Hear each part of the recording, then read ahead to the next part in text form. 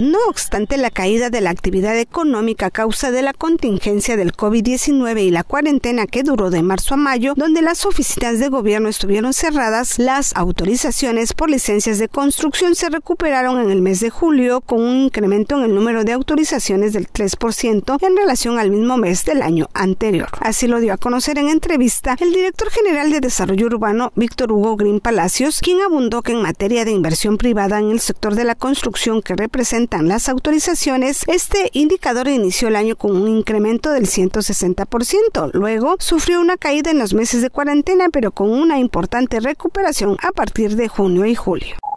Ya para el mes de julio y lo que llevamos de agosto, pues se ha incrementado un 65% en relación al mismo mes del año pasado la actividad de la industria de la construcción. O sea, aquí estamos viendo cómo las nuevas inversiones que están llegando a los cabos eh, se están eh, autorizando, dictaminando y estamos viendo cómo ha repuntado en este mes de julio. Eh, puntualizó que el gobierno municipal ha sido facilitador de las inversiones para orientar y guiar a los empresarios desde la inversión más modesta hasta los grandes desarrollos turísticos integrales.